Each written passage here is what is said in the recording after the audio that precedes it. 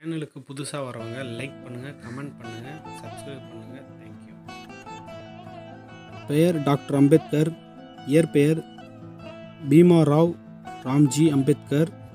பிறப்பு பதினாலு நாலு ஆயிரத்தி எட்நூற்றி தொண்ணூற்றி ஒன்று இறப்பு ஆறு பன்னெண்டு ஆயிரத்தி தொள்ளாயிரத்தி ஐம்பத்தி ஆறு. பெற்றோர் ராம்ஜி மாலோஜி சக்பால் பீம்பாய். இடம் மத்திய பிரதேசம் வகித்த பதவி முதல் இந்திய சட்ட அமைச்சர் இந்திய அரசியலமைப்பு வரைவு குழுவின் தலைவர் இவர் பெற்ற விருதுகள் பாரத ரத்னா பாபா சாஹேப் என்றழைக்கப்படுபவர் பீமாரா ராம்ஜி அம்பேத்கர் ஆவார்.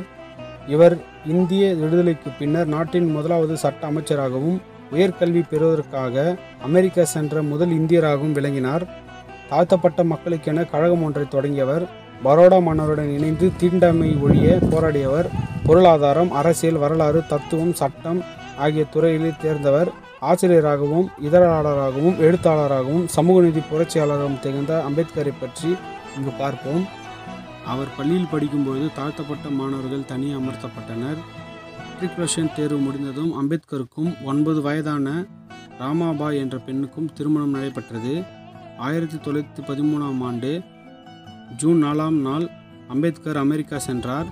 உயர்கல்வி பெறுவதற்காக அமெரிக்கா சென்ற முதல் இந்தியர் என்ற பெருமையை பெற்றார். ஆயிரத்தி தொள்ளாயிரத்தி இருபத்தொன்னில் முது அறிவியல் பட்டமும் பிஎஸ்சி பட்டமும் பெற்றார். தாழ்த்தப்பட்ட சமூகத்தில் உயர்கல்வி பயின்றவர் என்ற பெருமையும் பெற்றார். ஆயிரத்தி தொள்ளாயிரத்தி இருபத்தி மூணில் பிரிட்டிஷ் ஏகாதிபத்தியத்துக்கு எதிரான போராட்டத்தில் டாக்டர் அம்பேத்கர் தன்னை ஈடுபடுத்திக் கொண்டார். சமுதாய அமைப்பிலும் பொருளாதாரத்திலும் ஒடுக்கப்பட்டவர்கள் கையில் அதிகாரம் கிடைக்க வேண்டும் என்று போராடினார். வர்ணாசிரம தர்மத்தில் தோன்றிய சாதிய அமைப்பையும் தீண்டாமை கொடுமைகளையும் எதிர்த்து டாக்டர் அம்பேத்கர் தீவிரமாக போராடினார். இறுதியில் ஆயிரத்தி தொள்ளாயிரத்தி ஐம்பத்தாறில் தமது ஆதரவாளருடன் புத்த மதத்தில் இணைந்தார். இந்தியா விடுதலை பெற்றவுடன் இந்திய யூனியன் முஸ்லீம் லீக் சார்பில் அரசியல் நிர்ணய சபை உறுப்பினராக தேர்வு செய்யப்பட்டார். அம்பேத்கர் அதை ஏற்று விடுதலை பெற்ற இந்தியாவின் முதல் சட்ட அமைச்சராக ஆனார் ஆகஸ்ட் இருபத்தி ஒம்போதில் அம்பேத்கர் இந்திய அரசியலமைப்பு உருவாக்கும் ஆணையத்தின் தலைவரானார். அம்பேத்கரால் உருவாக்கப்பட்ட அரசியலமைப்பு குடிமக்களின் உரிமைகளுக்கு பல வகைகளில் பாதுகாப்பை வழங்கியது. இந்திய விடுதலைக்கு பின்னர் நாட்டின் முதலாவது சட்ட அமைச்சராகவும் இந்திய அரசியல் சாசனத்தின் தலைமைச் சிற்பியாகவும் செயல்பட்டார். அவரது தலைமையில் இந்திய அரசியல் சட்டம் இயற்றப்பட்டது. அரசியலமைப்பு நவம்பர் இருபத்தி ஆறு ஆயிரத்தி தொள்ளாயிரத்தி நாற்பத்தி ஒன்பது அன்று மக்களவையில் ஏற்கப்பட்டது. இந்து நெறியில் சட்டத்தை கொண்டு வருவதில் நேருவுடன் கருத்து வேறுபட்டால் ஆயிரத்தி தொள்ளாயிரத்தி ஐம்பத்தொன்னாம் ஆண்டு இவர் தன் பதவியை துறந்தார். அம்பேத்கர் பற்றி உங்களுக்கு என்ன தெரியும் என்று கேட்டால் பெருவாரியான பதில்கள். இந்திய அரசியல் சட்டத்துக்கு எழுத்து வடிவம் தந்தவர் தாழ்த்தப்பட்ட மக்களுக்கான தலைவர் என்பதாக தான் இருக்கும். ஆனால் அம்பேத்கர் என்ற மகத்தான ஆளுமையை இப்படியான சிமிழ்களுக்குள் அழைத்துவிட முடியாது. காரல் மார்க்ஸுக்கும் அம்பேத்கருக்கும் ஒரு சில ஒற்றுமைகள் இருக்குது. இருவரும் தங்கள் வாழ்க்கையின் கணிசமான பகுதியை நூலகங்களில் தான் சொல்ல வச்சுருக்காங்க. மனித சமூகத்தின் மேம்பாடு குறித்து சிந்தித்து கொண்டிருக்கும் போதே தங்கள் குழந்தைகளை வறுமையின் காரணமாக பலி கொடுத்துருக்காங்க.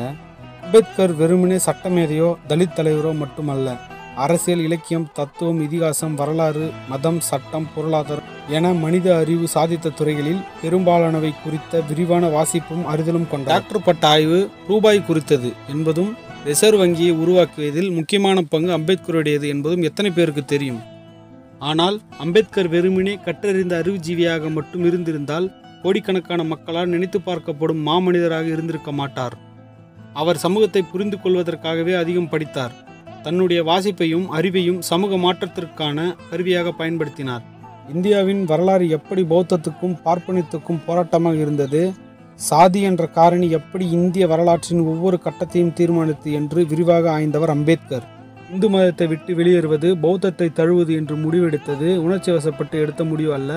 பல ஆண்டு காலமாக வரலாற்றை ஆய்ந்த பிறகே அவர் அப்படியான முடிவுக்கு வந்தார்.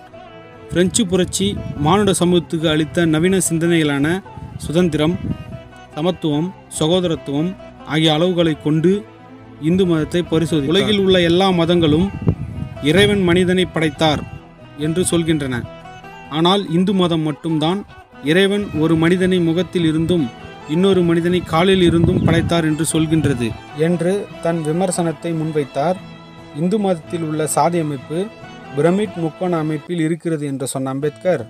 ஒவ்வொரு சாதிக்காரனும் தன்னை மேலே இருந்து அழுத்தவன் மீது கோவப்படுவதில்லை. ஏனெனில் அவன் அடிமைப்படுத்துவதற்கு கீழே ஒரு சாதி இருக்கிறது. இந்த உளவியல் திருப்தி சாதி அமைப்பை வலுவாக தக்க வைத்துக் கொள்வதை கண்டுபிடித்து சொன்னார். இந்து மதம் என்பது ஒவ்வொரு சாதிக்காரனும் இன்னொரு சாதிக்காரனிடம் எவ்வளவு தூரம் விலகி நிற்பது போன்ற விதிமுறைகளின் தொகுப்பாகத்தான் இருக்கிறது என்றார். இந்து மதத்தில் உள்ள ஒவ்வொரு வர்ணமும் பல மாடிகளை கொண்ட அடுக்குமாடி குடியிருப்பு போலத்தான். ஆனால் ஒரு மாடியிலிருந்து இன்னொரு மாடிக்கு செல்வதற்கு என்று எந்த படிகளும் கிடையாது என்றார். இறப்பு கல்வி குடும்ப பெயர் தொழில் வணிகத் தொடர்புகள் பரம்பரை சொத்து ஆகியவை சாதகமாக உள்ளவர்களே வாழ்க்கை போட்டியில் தேர்வு பெறுகிறார்கள் என்றார். கல்வி அரசியல் அதிகாரம் வேலைவாய்ப்பு ஆகியவற்றில் காலங்காலமாக பின்னுக்கு தள்ளப்பட்டிருப்பவர்களுக்கு சிறப்பு உரிமைகள் அளிக்க வேண்டும் என்றார். அதனாலேயே இடஒதுக்கீட்டையும் தாழ்த்தப்பட்ட மக்களுக்கான இரட்டை வாக்குரிமைகளையும் முன்வைத்தார். சமகாலத்தில் வாழ்ந்த காந்தி என்ற இன்னொரு ஆளுமையை எதிர்க்க வேண்டிய வரலாற்று அவசியம் அம்பேத்கருக்கு ஏற்பட்டது. பூனா ஒப்பந்தம் நிறைவேறியது. அதற்கு பிறகு இறுதி வரை அம்பேத்கர் காந்தியை கடுமையாக விமர்சித்தார்.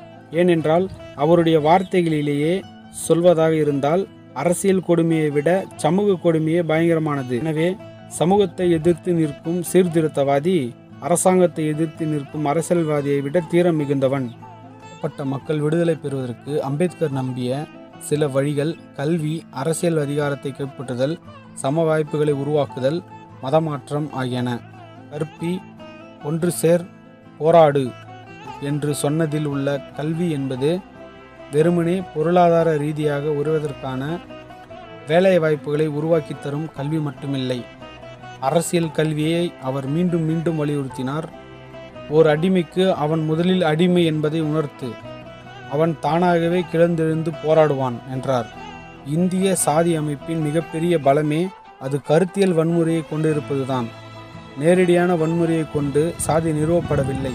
தான் இழிவானவன் அடிமை என்பதை அவர்களே ஒப்புக்கொள்ள வைப்பதில்தான் சாதியின் தந்திரம் அடங்கியிருக்கிறது. பெண்களும் இப்படித்தான். ஆண்கள் பெண்களை அடிமைப்படுத்துகிறார்கள் என்பதை பெரும்பாலான பெண்களே ஒப்புக்கொள்வதில்லை. இந்த வகையில் தாழ்த்தப்பட்டவர்கள் நிலையும் பெண்களின் நிலையும் ஒன்றுதான்.